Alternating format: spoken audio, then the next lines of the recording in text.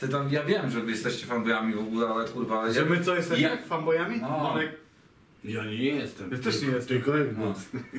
Ale kurwa, tak jak czasami mówicie o tych grach w Godzie, a jedyna to naprawdę... Stefan, ja ci coś wytłumaczę, ja nie mogę być fanboyem, bo dla mnie na rynku teraz istnieje tylko jedna, jedna konsola.